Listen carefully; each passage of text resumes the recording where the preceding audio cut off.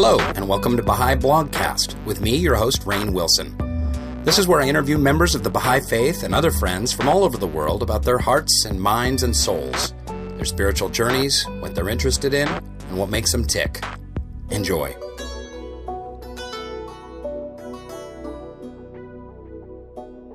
Welcome to this episode of Baha'i Blogcast. I am so thrilled to be talking to one of my dear friends and someone who I look up to so much an extraordinary musician, composer, Baha'i speaker, raconteur, Mr. Tom Price, who is on the old Skype with me all the way down in, what is it, Adelaide? Yep, Adelaide, Australia. How do the how do the Australians say that? Like Adelaide. Yeah. Adelaide. Yeah. G'day, mate. G'day from Adelaide. I have an Australian friend who's from Melbourne, and he always says, "Oh, Melbourne is so great, Melbourne." I think it's. Um, uh, I just love saying Melbourne, uh, like the Australians say, or kind of mocking the Australians and how they say it. What's your connection to Australia? You were you're from Tennessee. I'm well originally from Los Angeles, and then I moved to Australia for 17 years. Most of my family is here. Then I moved back to the U.S. for 24 years, and then I was traveling uh, on a speaking tour, and I met someone who I ended up marrying. And so I've stayed down here. I now have a new wife in South Australia and a 10 year old stepson. Oh, fantastic. That's great. So love brought you back to Australia. Uh, well, actually, it only brought me back to Australia for eight days, but it's turned into two years now. Oh, fantastic.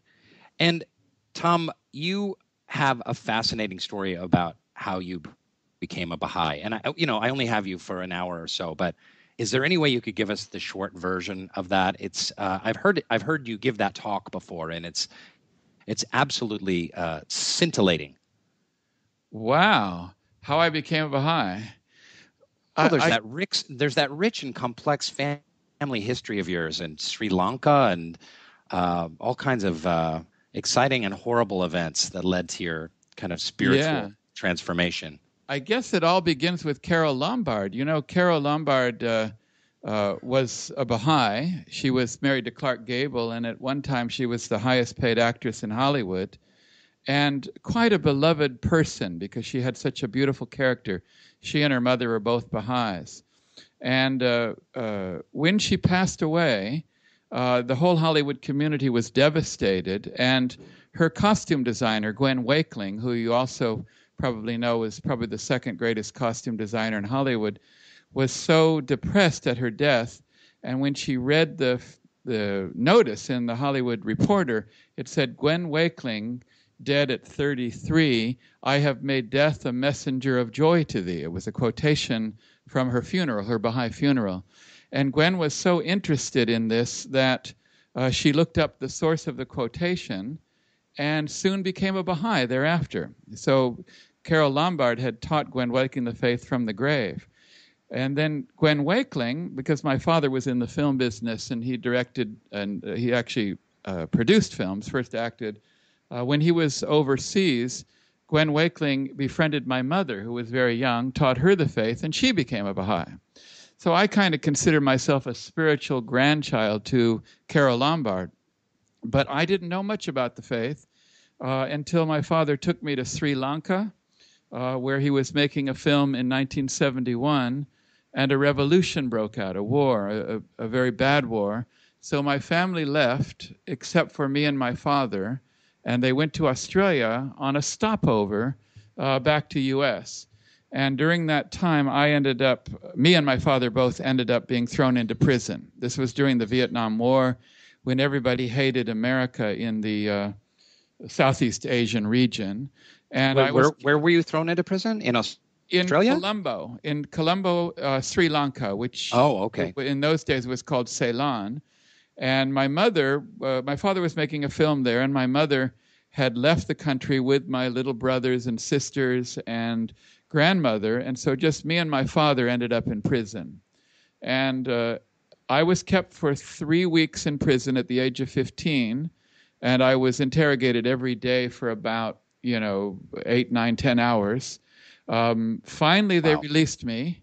Um, I never got to see my father because we were both being interrogated, and they didn't want, you know, when they interrogate people, they don't want them to uh, have collusion. Share stories. So then yeah. I uh, I flew back to Australia, and we waited in Australia for eight more months. They said they would release my father. Finally, after um, eight months, the U.S. Embassy said that the government of Ceylon had dumped the dead body of my father on their doorstep, and that was the end of my father.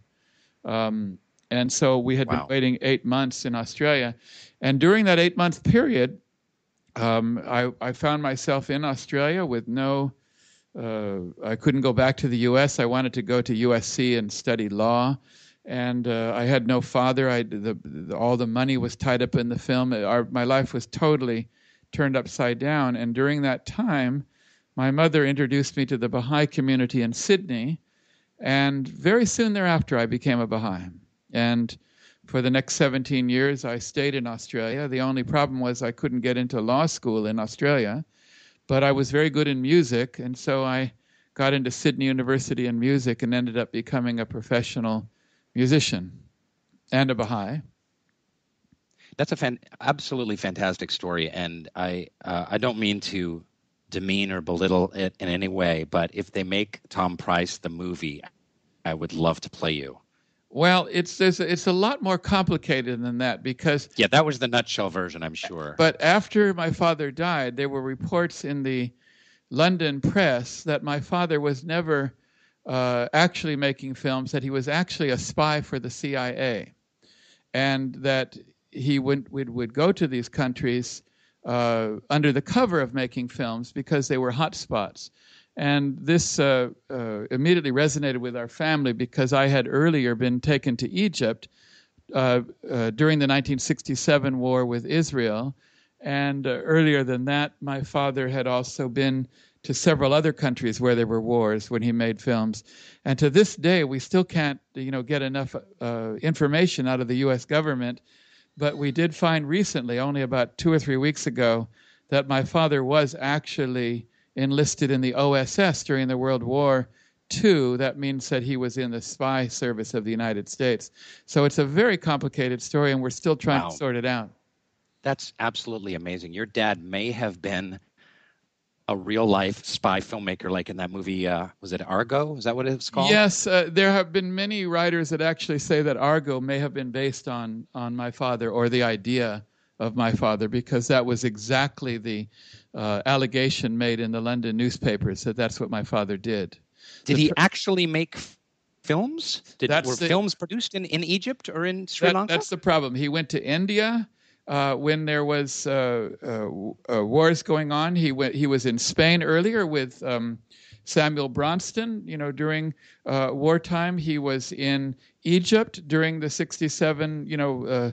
Six Day War, and he was in Sri Lanka during a war at a time when you know communism was really feared in Southeast Asia because of the domino principle. And every time he went to these countries, by the way, he took me on the last two trips. I went to both Egypt and Sri Lanka, and he spent a lot of time working with government and you know ostensibly to set up films. Um, uh, but no film was ever made in the in the last ten years of his life.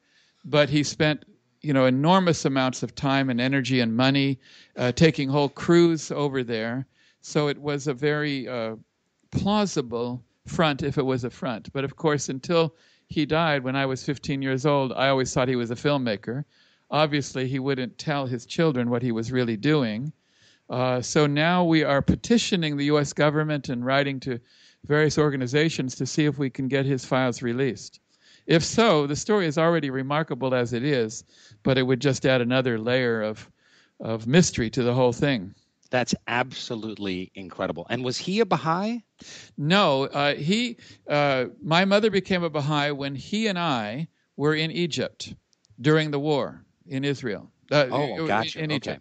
She became a Baha'i, and the only reason she did become a Baha'i is because Gwen Wakeling, who was a Baha'i, befriended her because she was alone because her husband was away. Ah. She befriended her. We came back, and I didn't even know much about the Baha'i faith when we came back, but you know, gradually I heard that my mother had joined some strange, weird religion kind of thing. Did you have any kind of mystical experience, or what drew you to the faith when you were a teenager in Australia and getting to know the Sydney Baha'i community? You know, uh, in those days, 1971, um, a lot of the Baha'i youth were kind of hippies. They had long hair and wore sandals, and everybody played guitar and sang and things of that nature. And I had just come out of prison in Sri Lanka, um, and I had no friends. And my mother took me to Baha'i meetings, and the youth in Australia had I don't know every two or three times a week they would get together and play guitars and sing, and they were just so happy.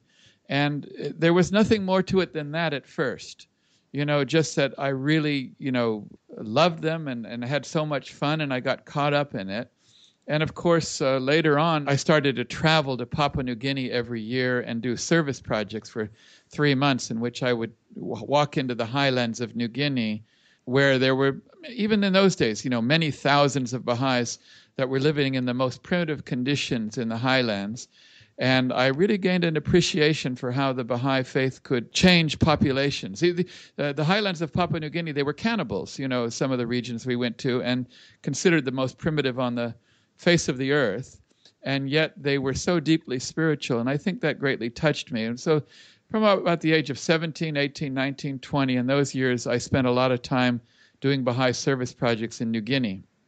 And then, wow. of course, later on, I got asked to do a lot of music for Baha'i temples. I ended up uh, doing music for the Samoan Baha'i temple dedication in 1984, the Indian temple dedication in 1986, and I worked with Ravi Shankar on the music of that. Then in 1992, I was asked to do the music for the Baha'i World Congress in New York. I don't think that I do anything um, for the Baha'i faith except in relation to art and music and drama, and even when I give talks, I kind of use the same approach. And I guess it comes from my film background. Or my father and my uncle and my great uncle, they were all actors and directors. And uh, segueing to music, since since you went there, um, I first became familiar with your work with the uh, incredible choral work and orchestrations that you did and composing that you did for the Baha'i World Congress. I was not there; I was not a Baha'i at the time, but I heard it afterwards and was really uh, blown away by your work and Jack Lenz's work.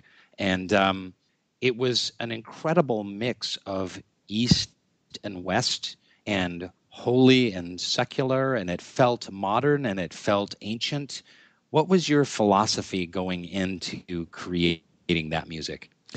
Well, you know, the music for the World Congress, it was so easy in a way because we knew that 35,000 people were coming and it would be a great celebration. It was the 100th anniversary of the passing of the founder of the Baha'i Faith, Baha'u'llah. And so uh, there was a program, and the program, you know, had certain needs, and every time you just thought about those needs and meditated on them, and uh, usually the ideas would come to you. And uh, they wanted an oratorio on the first day in which we would basically cover Baha'u'llah's life in about an hour. And so we ended up commissioning a poem to be written uh, addressed to Baha'u'llah and six pieces of music that featured all of his life. And so, you know, this is kind of like imagining how the early Christians wrote Christmas carols, you know, to celebrate uh, Christmas or Easter. In other words, uh, this this was a very significant event, and I think when you have that inspiration, you know, things do come to you because you have a really exciting uh, new musical experiment that you're undertaking as well. Can you tell us about that? Yeah, well, what happened was is that several people wrote to me and said, "Why don't you do some more music like you did for the World Congress?" Because that, you know, that had a huge orchestra. We had a 92 piece orchestra and a 400 voice choir. said, "Why don't you do some more?" And I said, "It, it can't be done. It we had everybody. You know, we had uh, unlimited budget, or not unlimited. We had a very large budget, and we had singers from all over the world. And I said we couldn't do it. And so a good friend of mine." Uh, his uh, name is Michael Hampton. He said, All you need to do is put it on Kickstarter. And I said, What is that? I didn't even know what Kickstarter was at the time.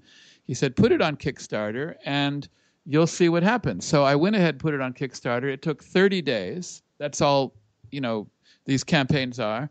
And within those 30 days, over 700 people uh, contributed money to it, which raised $150,000.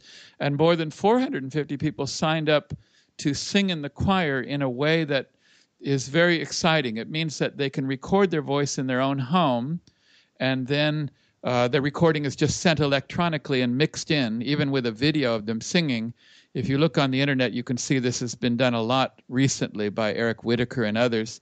And so we we have launched that project, and right now we're composing the music. I have various composers working on it.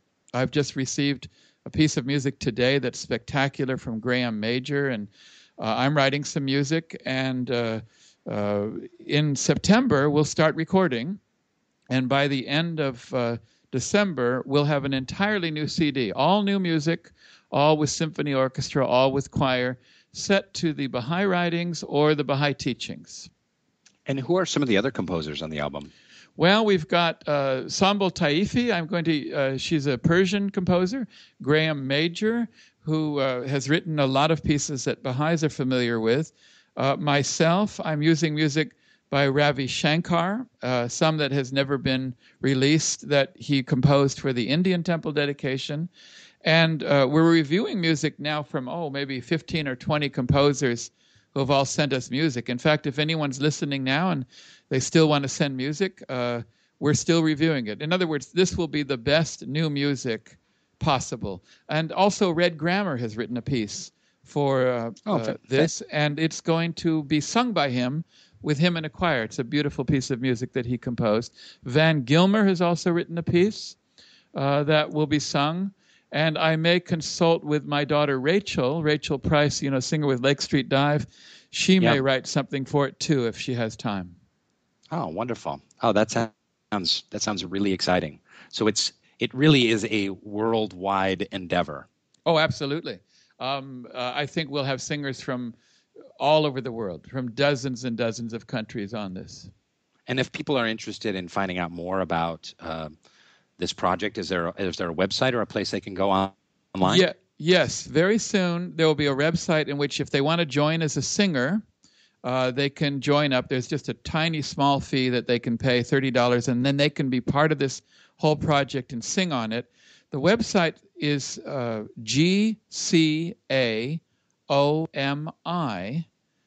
com, And if you forget that, it stands for Global Choir and Orchestra Music Initiative dot com. Fantastic. So, switching gears a little bit, Tom Price. Your daughter is Rachel Price of the awesome band combo Lake Street Dive. I'm going to give you your chance to really gush about the success of your daughter because that band has really taken off over the last three or four, four years. Oh, absolutely. particularly the last year. You know, now they're playing in very large venues all over the world. You know, they've they've been touring U.S. since the release of their uh, new CD called Side Pony playing in venues, you know, 3,000 seaters and more. Toured Europe, sold out, and now returning to Europe, I think, in November. And uh, no, the, I couldn't be prouder of Rachel. You know, she's been singing since she was came out of the womb. I think that she sang to the doctor when she popped out, and she's never stopped singing her whole life. Um, and uh, she sang with our Baha'i choirs since she was nine years old. She was touring I think she did 17 tours of the world with the Voices of Baha. Uh, and now she's just a trooper, just you know, singing everywhere. No, I believe that you're going to hear more from them in, in the future because they write their own music, they sing it, and uh, they're considered, you know, very original uh, in the way that they, you know, nobody can classify them. They kind of are a neo soul, neo funk, neo blues, uh, uh, you know, they've got all kinds of influences, and uh, yeah, people they, really they, respond to them.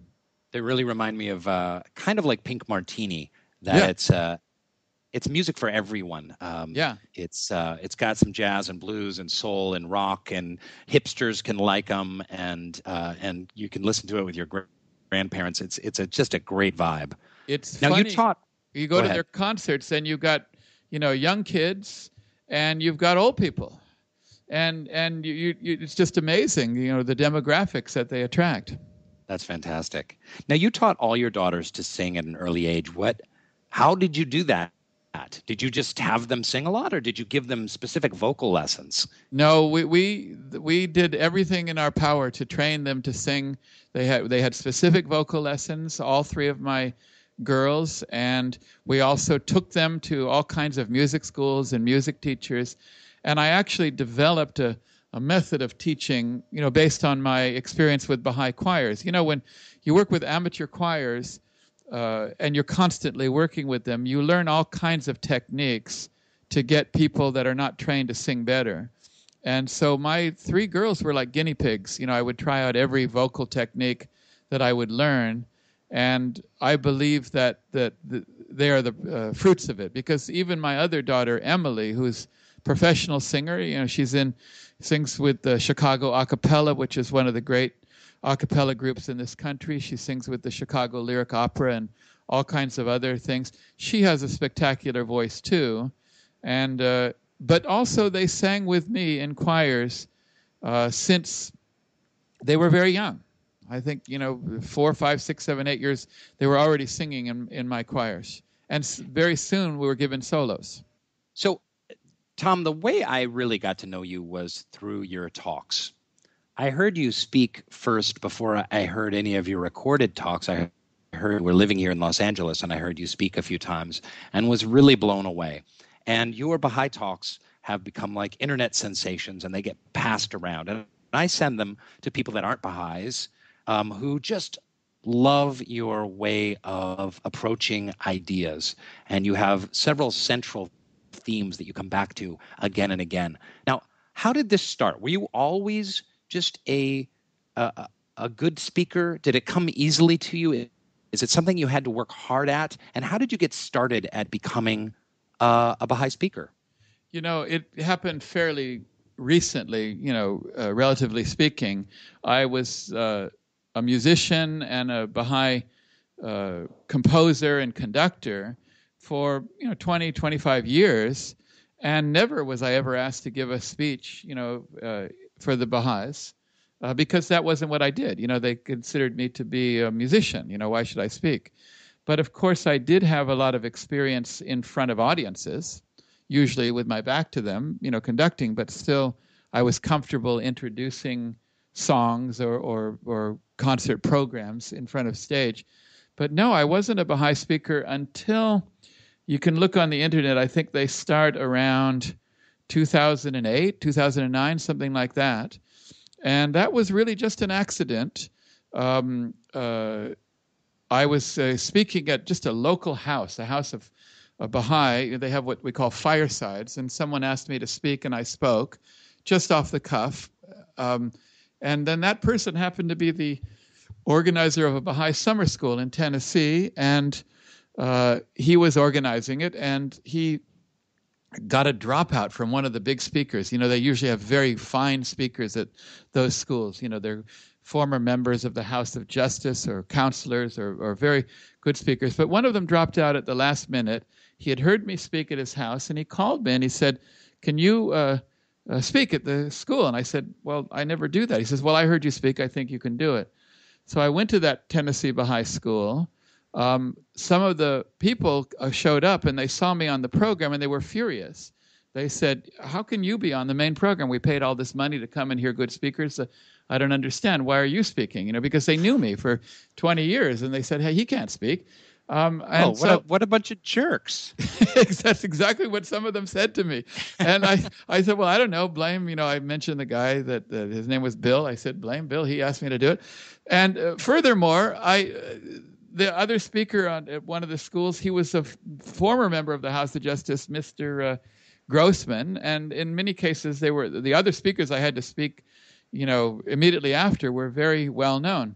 Anyway, uh, they also, for some reason, at that school had very good recording facilities. There was a, a guy by the name of Don Davis who recorded them professionally, and they always put them on the internet. And so I spoke there. I can't remember uh, two or three or four years in a row, and they ended up being on the internet. And people just started downloading them. It wasn't, you know, anything promoted or, or stuff, but they started downloading, and soon uh, there were just literally thousands, in some cases tens of thousands of people. And so then other schools heard me on those talks from the Tennessee school, and uh, I started uh, touring. And so for I think for about four years, 2010, 11, 12, 13, 14, um, I would do about eight to 10 summer schools a year. I think I've done maybe 30 or 40 European uh, countries now in the last four or five years. And uh, I was on a tour two years ago that took me to Malaysia and Singapore, Australia, New Zealand. And that's when I met my current wife. Uh, I was speaking here in Adelaide, and that's where I met her at uh, one of the schools. So really, Adelaide. this yeah. In other words, this last five years have been very unusual. Um, but it's funny because I told you my life story that I ended up going to Sri Lanka, ended up in jail, becoming a Baha'i, and then becoming a musician. But my early life in early high school, I had actually wanted to be a lawyer and then become a politician. That was actually my goal in life. And I had decided I was going to study law, but I did a lot of work in my early days on public speaking. I studied public speaking. I was in debate in uh, high school. In fact, I was the youngest debate champion in Santa Monica High School. Uh, even uh, as a sophomore, I was debating the seniors, and I won two gold medals and stuff. So I had done all of that. And then, of course, when I became a Baha'i, I didn't become a lawyer, and let alone a politician, which we can't even do, and didn't do anything about it uh, until accidentally uh, someone asked me to speak once. So I will continue doing that. In fact, I'm going to uh, have to give more talks uh, during the time, but this year I'm spending most of uh, my work on the music. But I do speak every week here in Adelaide on a course called The Science of Spirituality. And uh, I'm thinking of releasing some of the recordings of those talks. I think there's about 40 or 50 of them that they made over the past year here in Australia. I love that topic. And that was one of the first topics I heard you speak on was the harmony between science and religion, which, as we know, is one of the fundamental Baha'i principles. And you weave stories of science and spirituality together so effortlessly. What drew you to this topic, and what are you exploring in these new 30 or 40 or 50 talks that you've been giving? I stay on the same themes. It's all about spirituality. But I think the Baha'i faith has something to contribute to the world in the way in which we unite science and religion. You know, so many of the uh, scientific community are becoming atheists because they're so disappointed with the uh, dogmatic, you know, uh, rituals and and and closed-mindedness of religion, and at the same time, many religions uh, they're having such conflict with science. And I believe the Baha'i teachings have a completely new perspective that's so enlightening. And of course, we need uh, we need this in the world. So I believe that uh, there is a link between scientific knowledge and scientific discovery and scientific methods and spiritual knowledge and spiritual discovery and spiritual methods. And the two are really one and the same. They, they both are seeking knowledge and understanding and wisdom in two areas. And so I'm just fascinated by it. I guess I always have been a an avid reader of scientific things. And as you know, music is both a science and an art. And so you'll find that many musicians, uh, because of uh, their understanding of sound and acoustics and various other principles, they do have a scientific bent anyway. And so I just found it natural. And it, it just comes from my own interests and my own reading. That's, uh, that's fascinating you bring that up about musicians being both scientists and artists. I hadn't really thought about that before, but you think about composing a piece of music and uh, all the technical expertise that needs to go into that, into the and harmonies and dissonances and themes and resolutions and and how they come together and there's repetitions and exactly. when you look at when you look at music on a page it's not that different than looking at scientific formulas in some way yes uh, and mathematics as well uh, not too long ago, there was a, a, survey done of all physicists, and they um, uh, they asked all the physicists in the world to vote on who are the ten greatest physicists of all time. You know, like Einstein and Feynman and and and so on. And when the list was published, many musicians pointed out that seven of the ten of the greatest of all time were professional level musicians. Wow. You know that Einstein was a very a professional level violin player, and, and so on.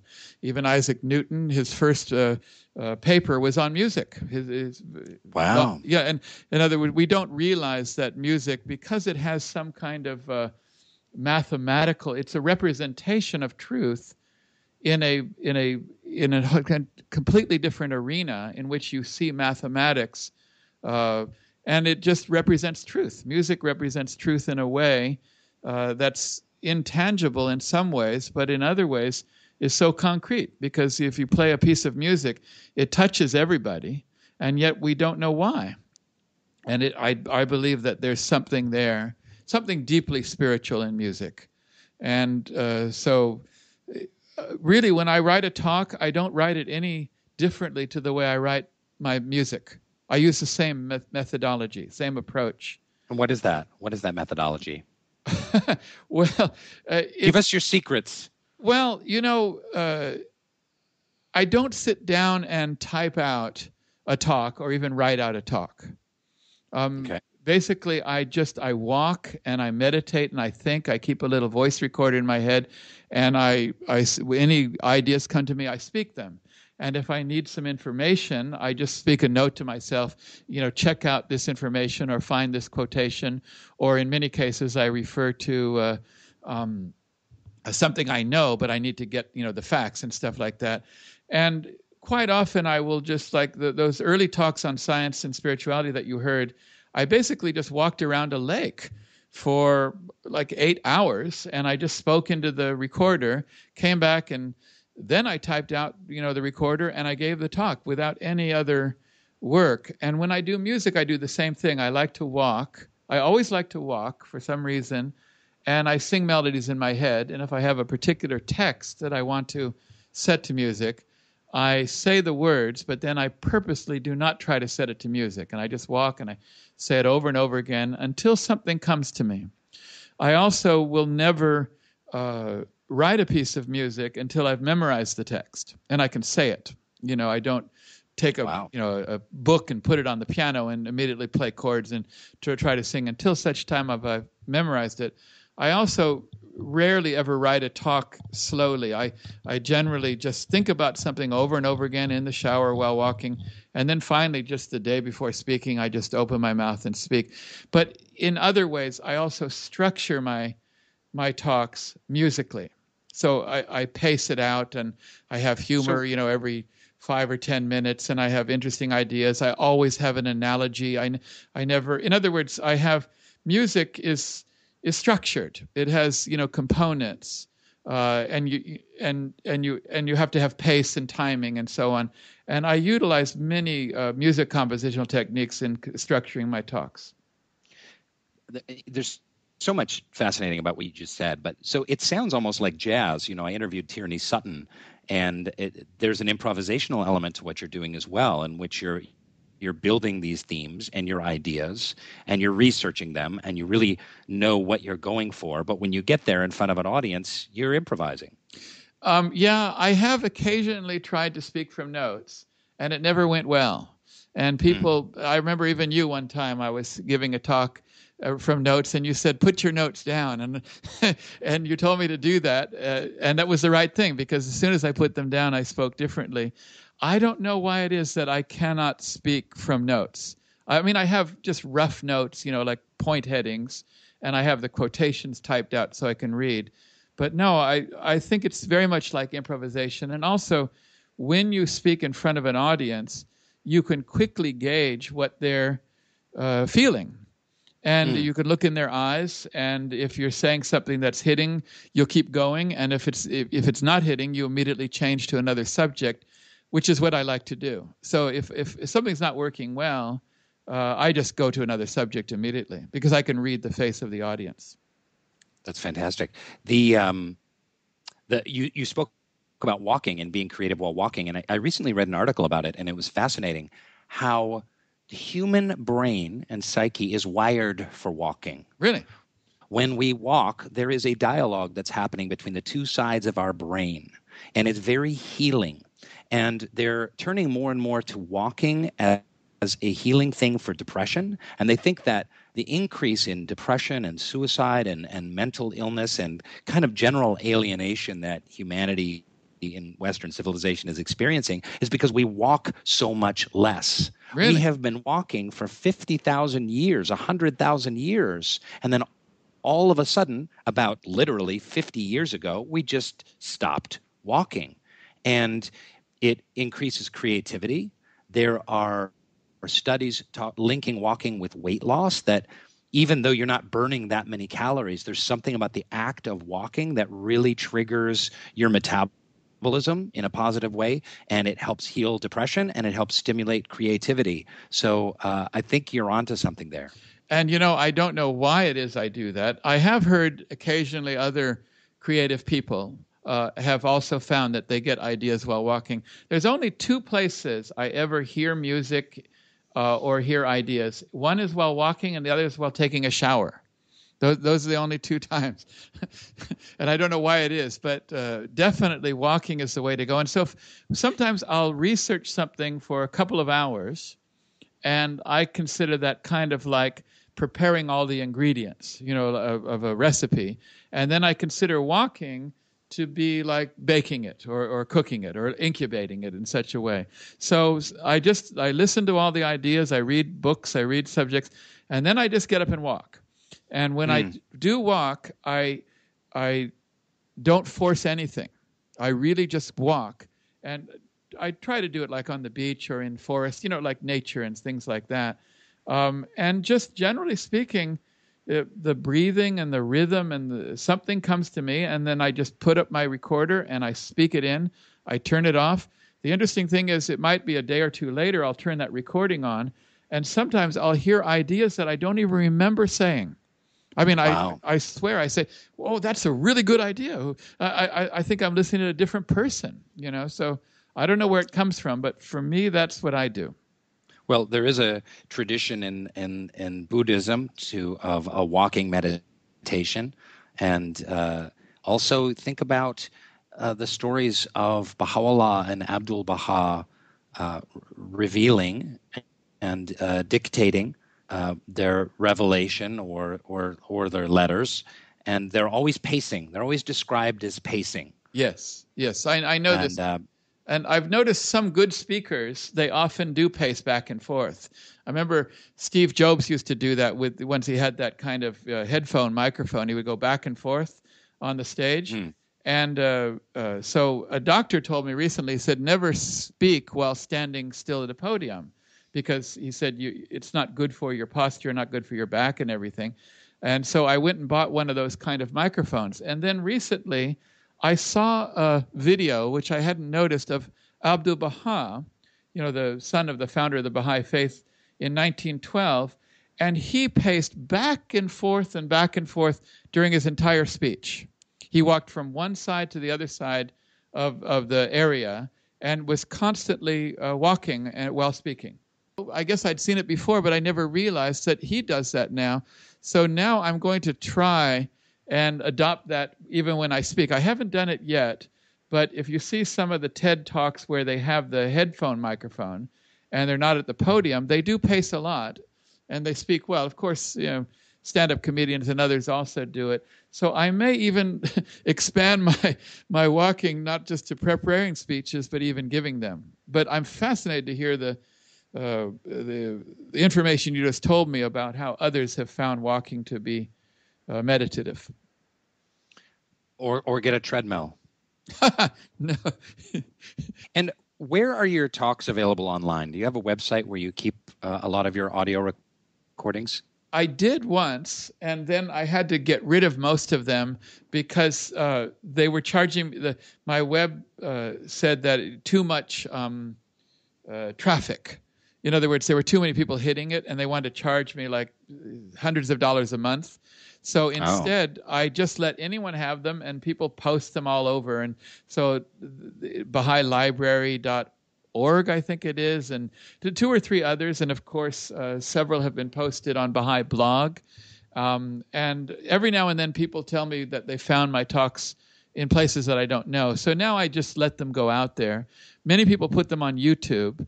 Uh, perhaps uh, in the future, uh, I'll have to get a website up but if the traffic got so large that I had to take it off. And for those who are unfamiliar with your talks, what do you what themes are you working on right now? What well, can you give us a little taste of these of these 30 or 40 uh, recorded talks that you have? I'm really jonesing to get to them. Well, recently I did a 6-week course which I may uh, allow to to go out called Spiritual Leadership. And it was it's a course on how we can be more effective as leaders, as bosses in businesses, or as leaders, or even as parents. Or, in other words, uh, there are certain principles that are more effective for communicating and leading and motivating other people. And they're, they're based on spiritual principles and they're, they're based on ideas of love and so on. And they have similarities uh, to, uh, to many of the, of the great traditions of leadership and qualities, but from a Baha'i perspective. And people found this very effective. In fact, many people that went through the course, it finished about three weeks ago, said that they they find they're much more effective at communicating, at uh, leading, at uh, teaching, at uh, educating their children, and so on. So I'm very pleased with that course. And of course, a couple of years ago, I expanded a course called The 12 Signs of Love. Uh, and that mm. was uh, very well uh, received. I've been meaning to write it up into a book. And I believe uh, within the next six months, my wife says she's going to help me by taking all my talks and transcribing them. And so I think maybe that will come out as well. But ultimately, um, my main aim is to completely uh, do a, uh, a dictionary of all things in the physical world that represent the spiritual world. In other words, everything uh, symbolizes something. What do mountains symbolize? What do oceans symbolize? What do what does everything in the physical world uh, represent? Because I believe that the physical world is a representation of the spiritual world.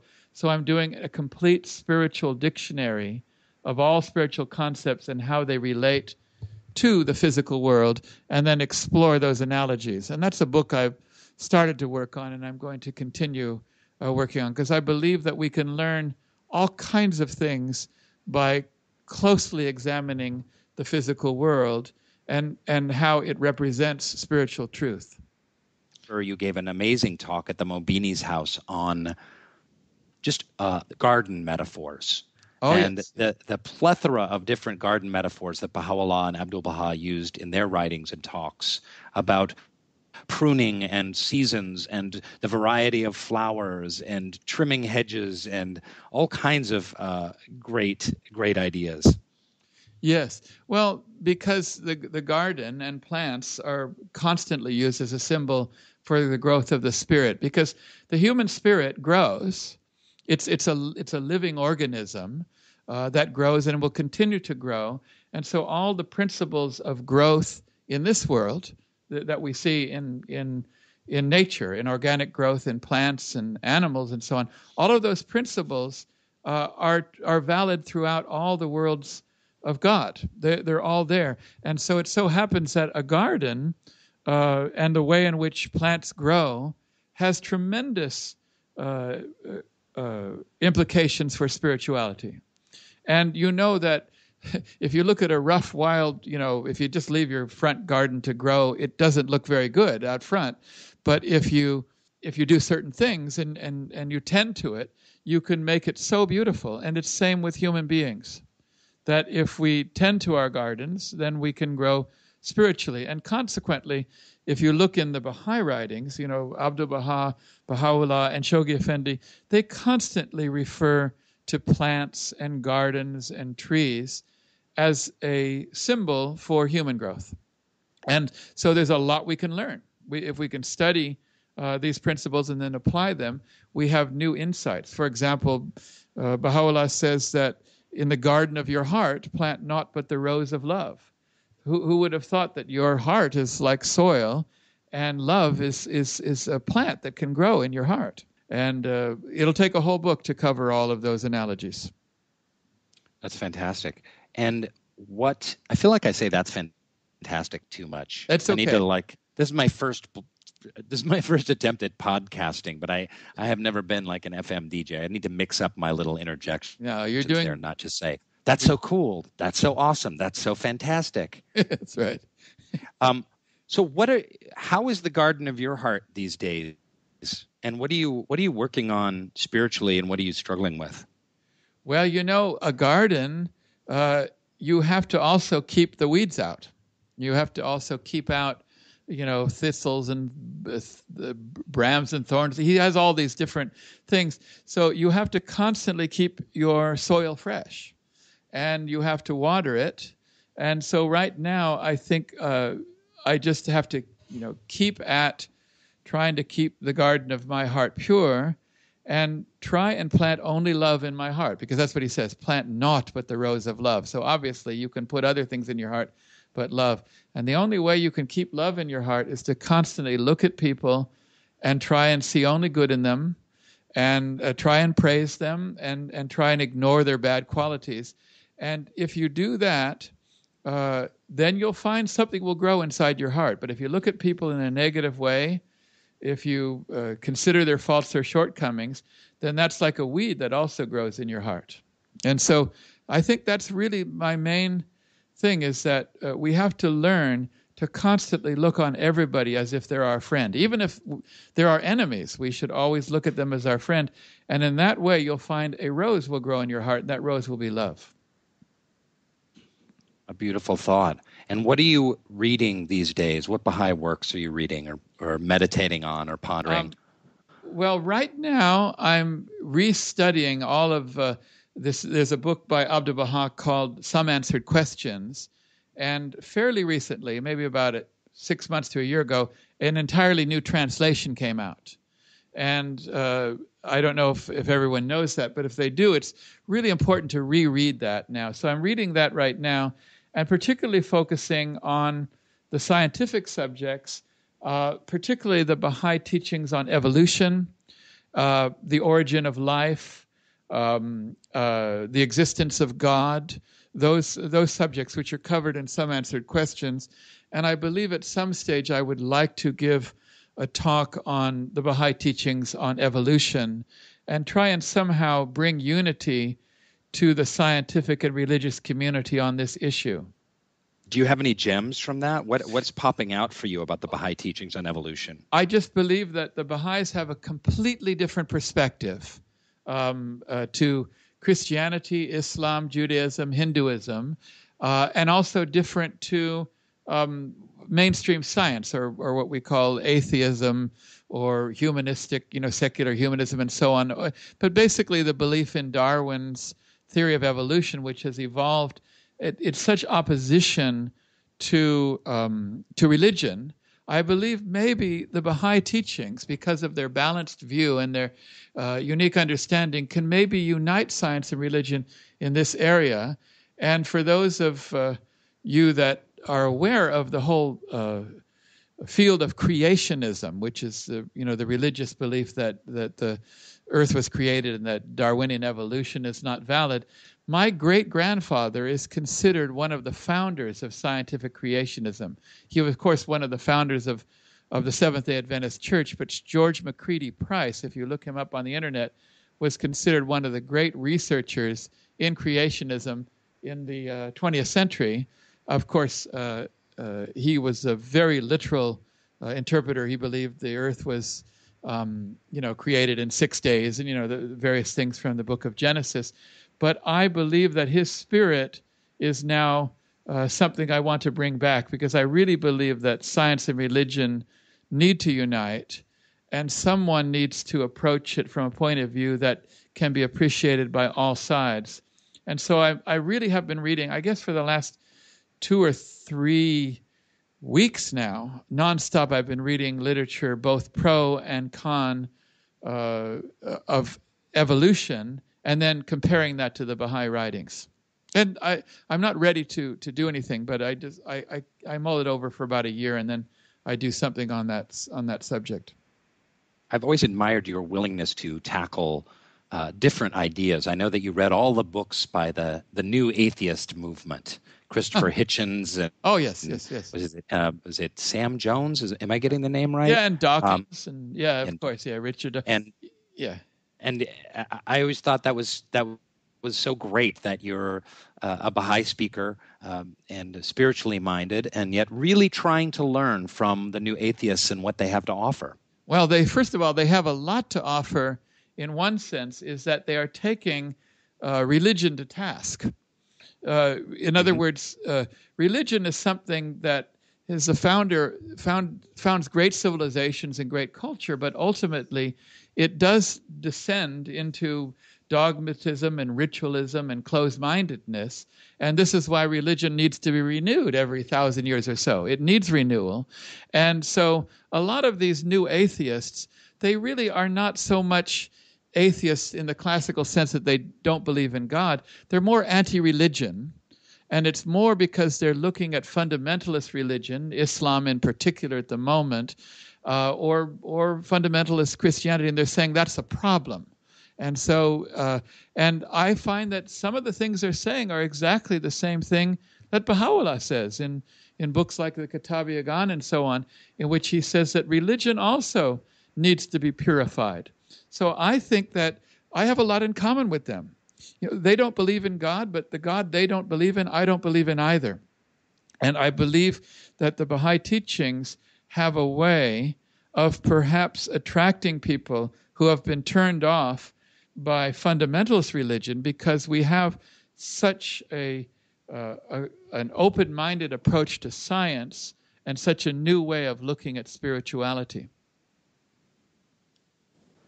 I think that's a good place to stop. Tom, it has been fantastic speaking to you, and it has been far too long as you've been all the way down there in Adelaide. and um, I wish you the very best in your new compositions and your new collaborative global music choir music uh, initiative. And uh, so excited to hear that. And thank you for speaking with me. Oh my pleasure. It's been a lot of fun. And let's do it again I, i'm an avid fan of baha'i blog I, I read the articles and, and of course uh, i've been very happy that they've been able to post some of my talks in the past so i'm delighted to do anything for baha'i blog anytime great tom well we will uh, we will take you up on that. Okay. All right. Thanks. Goodbye. Bye bye. Thanks for listening to Baha'i Blogcast. Hope you enjoyed the episode and the conversation. Check out more fun Baha'i stuff on Baha'iBlog.net. Thank you so much, and good night.